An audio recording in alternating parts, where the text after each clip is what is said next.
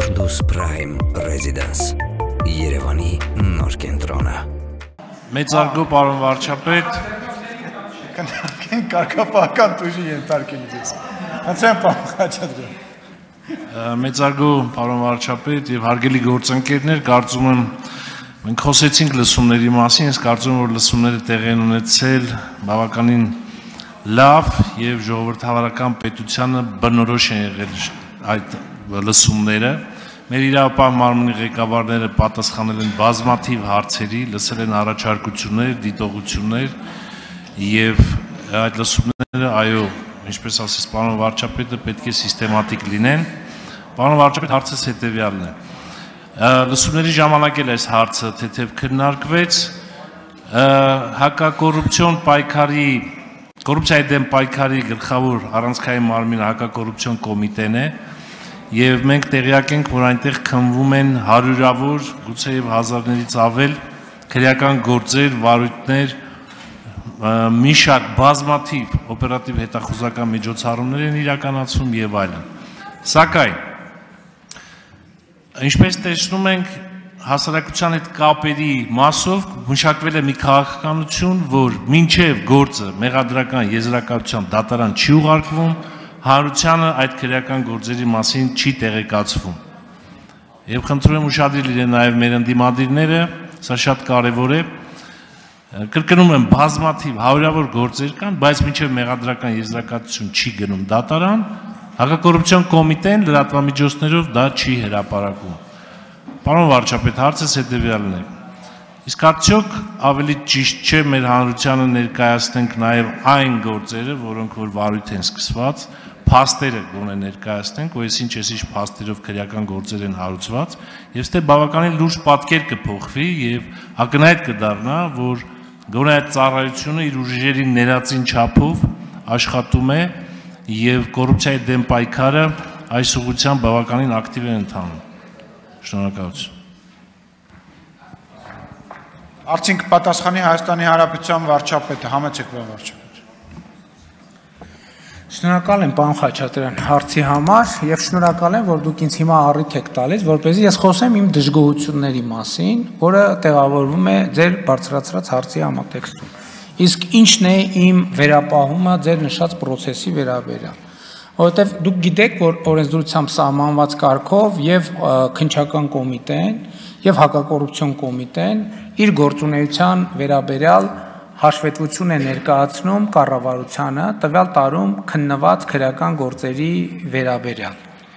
Եվ նաև դատախազությունն էլ ազգային ժողովին է հաղորդում տալիս։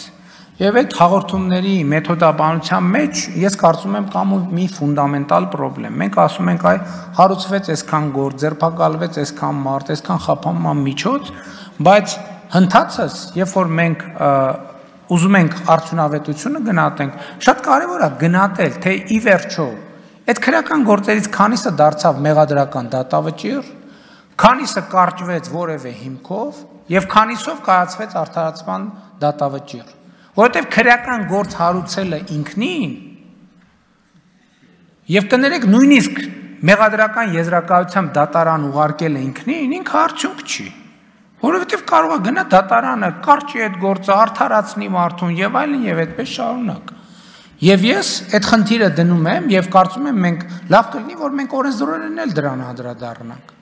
Որովհետև ա քրեական գործ հարուցվել հիմա էլ հիմա էլ իմիջայլոց ասեմ ձեզ։ Մեր մոտ քրեական գործ հարուցելու շեմերը այնքան են իջեցվել, որ դա նաև որոշ դեպքերում շփոթության տեղիք է տալիս։ Հիմա մենք հանկարծամահության ամեն դեպքով քրեական գործ է հարուցվում սպանության փաստի առիթով։ Եվ երբ որ մենք նայենք հարուցված քրեական գործերի թիվը, կտեսնենք, կասենք, այս ի՞նչ է կատարվում, մեր երկրում սպանությունների թիվը այսինչ մեծ աճ ապրեց։ Որը խնդիրը Բայց ինձ համար ես մեր քնչական մարմինների դատախազության մեր գործընկերների արդարադատության նախարարության հետ հիմնականում աշխատելիս ես այս հարցն եմ բարձրացնում, որովհետև քննության արդյունքը դատավճիռն է։ Եթե չնայած կան նաև ես չեմ համարում, որ կարճ կարճ օրենս օրենսդրությամբ կան նաև շատ լեգիտիմ կարճելու դեպքեր ասենք կարող են գործուն զղջման դեպքեր լինել, կարող են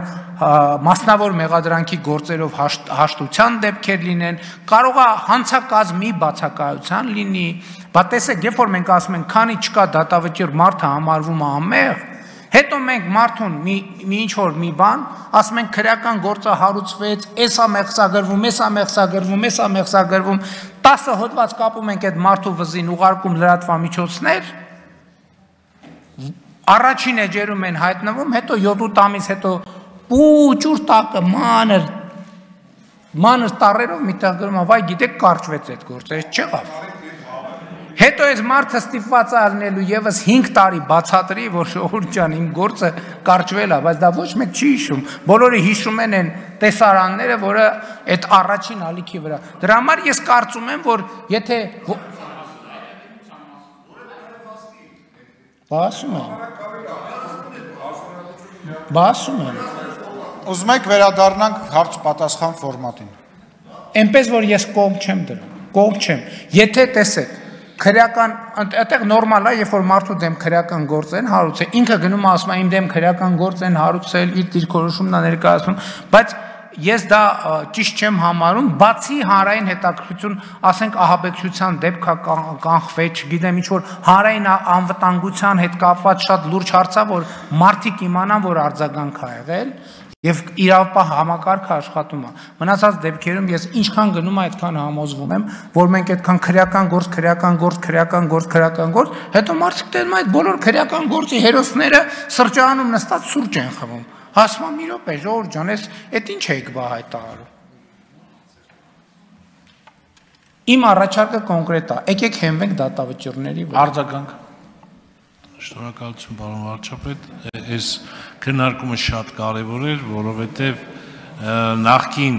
նախքին տրամաբանության սովոր մեր հանրությունը հիմա եթե տեսնում է չկան անընդհատ հաղորդագրություններ, չկան անընդհատ տեսանյութեր, ինչ որ թվացial պատկեր ստեղծում, որ պայքարը ինչ որ նվազել է եւ այլ եւ այլ, թեև ձեր նշած տրամաբանությունը բավականին ճիշտ է եւ այդ մասին, որ այդ տրամաբանությունն ենք որտեղել, մեր հանրությունը պետք է տեղյակալվի, շնորհակալ եմ։ Ստեփան Խաչատրյան, մի հատ ուրիշ հանգամանքի վրա եմ, հարգելի գործընկերներ, մեր ուշադրությունը ուզում հրավիրել։ Մեր ընկալումը հետեւյալն է, որ եթե որևէ մեկի դեմ քրեական գործ հարուցվեց, ուրեմն առաջիկա տասնամյակներում այդ մարդը պետքա լինի բանտում Էս էլ է խնդիր։ Էս էլ է խնդիր, որովհետև որովհետև մանավանդ բարեփոխված մեր օրենսդրությունը ժողովրդավարական երկրի նպատակը երբեք չի կարա լինի բանտերը լցնել, բանտերը լցնել, բանտերը ընդհակառակը մենք բարեփոխումներ ենք իրականացրել, որոնք չենք էլ նկատում։ Հիմա մենք օրինակ ասենք տնային կալանք ունենք, տասնյակ հարյուրավոր մարդիկ այսօր տնային, այսինքն խափանման միջոցը ընտրված է, եւ այդ մարդիկ իրենց ընտանիքում են, իրենց երեխաների կողքին է։ Վատ է դա, ես չեմ հասկանում։ Այսինքն ինչ տանենք ամեն անգամ մարդուն կտրտենք, լցնենք բանտերը, փակենք, ոչ մի բան չանենք։ Ես այս նկատի ունեմ, որ ասում եմ արդարադատության ստանդարտ պետք է տեղի ունենա։ Եվ ժողովրդավարական երկրի արդարադատության ստանդարտը չի կարող բռնա տիրական երկրի ստանդարտին համապատասխան լինի։ Որովհետև մեր խնդիրը մարդուն սպանելը չի։ Մեր խնդիրը արդարադատությունը, ճշմարտությունը հաստատելը, օրինականությունը վերականգնելն է։ Իհարկե դեպքեր կա, որ նույնիսկ ծմախ պետք է նստեն, հարցը այդ չի, բայց ես նկատի ունեմ այն չի, որ ում բռնեցինք պետքա վերջ։ Էլ տասնամյակներով իրան տեսնող չլինի ազատության մեջ։ Շնորհակալ եմ։